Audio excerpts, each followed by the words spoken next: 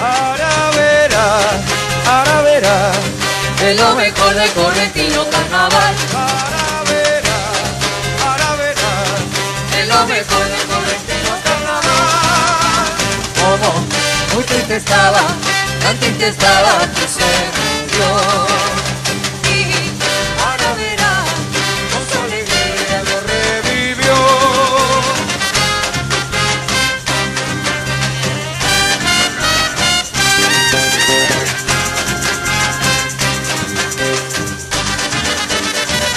Ahora verás, ahora verás, de lo mejor del correntino carnaval.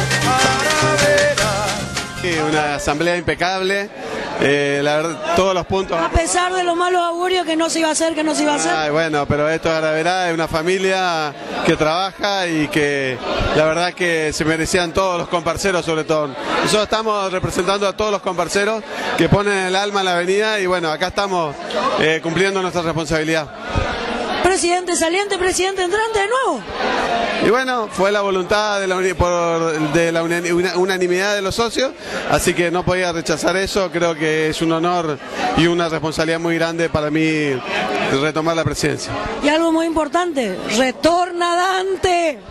Sí, la verdad que una alegría muy grande. Quizás haya generado, y esto tiene, tienen las asambleas donde la gente tiene posibilidad de expresarse, de discutir y, que, y dar su posición, ¿no? Esto es parte de la democracia, así que eso surgió, surgió que Dante vuelve a revelar con el corazón abierto y con muchas ganas, ganas de llegar al triunfo nuevamente. Y mucha gente de esta época, de épocas anteriores, y apoyando a Araverás, que era lo más importante. Esa es la onda, esa era lo que queríamos buscar y bueno, yo creo que se, se- se encontró y se, y se buscó y creo que hoy Araverá ha tenido el resultado y esta asamblea ha tenido el resultado que queríamos.